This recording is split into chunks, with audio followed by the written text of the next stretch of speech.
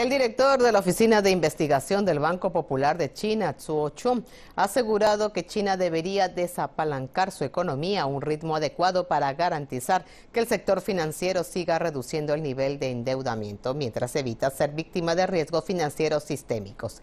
En un artículo de la revista Chin Chong, afirma que el exceso de estímulos del gobierno, la pobre gestión corporativa y el insuficiente control financiero fueron los factores claves en el aumento del índice de apalancamiento. Según el alto funcionario del Banco Central, para gestionar de forma efectiva este reto, el gobierno debe amortiguar la importancia del objetivo del crecimiento del PIB para evitar masivos estímulos a corto plazo.